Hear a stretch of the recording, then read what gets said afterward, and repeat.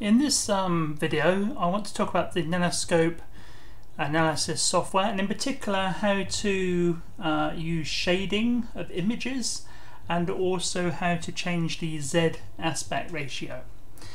So as before we load up an, an image from the E drive or wherever you've got data stored and again we have to level the image uh, see the previous video for this and we found out that the flatten one was the good one to use and so here are some nanofibers zoomed in from the previous image.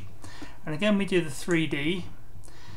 And the first thing I want to show you is how to change the Z aspect ratio. That's this last uh, item here on the menu.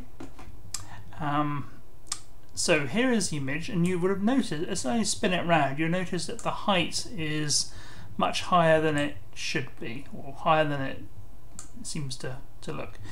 In AFM images, the X and Y are always scaled uh, one to one, but the Z is always um, exaggerated. Um, now, in some images, it's probably exaggerated too much, so you, you wouldn't imagine these nanofibers, which have a spherical cross section, to have this kind of height. So we can reduce this um, fairly qualitatively on this Z aspect ratio. We just decrease this number, so let's just half it. So 0 0.1, 0.05. And does that look okay? So you have to do it by eye, there's no uh, clever way of doing it.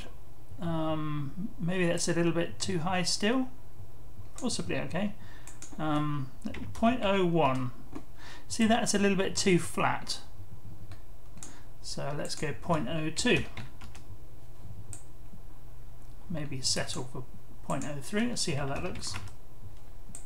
Let's go for that. Okay, so that's how you change the Z aspect ratio, and then you would save the image like you've done before. Um, just one thing I also want to show you, uh, height mode. We talked about what what's bright is high up. That's height mode. Uh, we can also have this mixed one here, which has this artificial light source.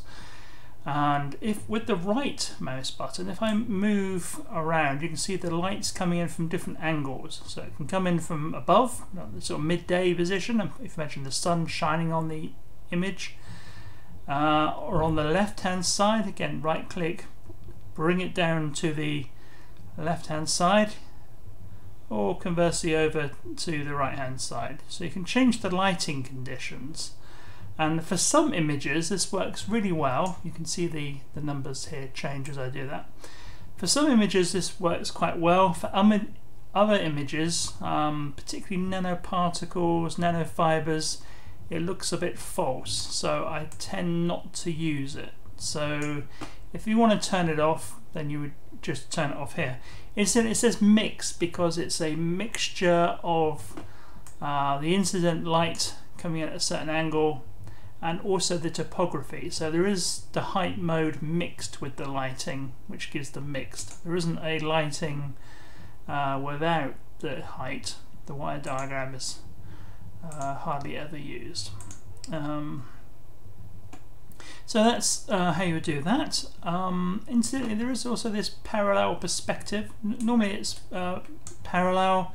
You can change it to perspective. You know, if you want the the bit towards you being larger than the, the um, part behind so you can change that uh, kind of ratio. Normally I have it on parallel but uh, you can change it around.